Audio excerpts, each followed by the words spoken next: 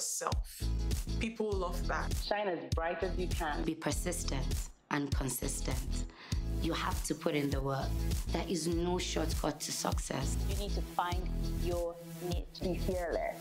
Okay, that's one thing that I've had to learn, you know. That's the only way you can win. Work hard, work smart, be professional. And remember, you are never too young, never too small to become what you want. The fact is that people will keep on coming eventually because of you. Try for excellence, and then eventually it all works out.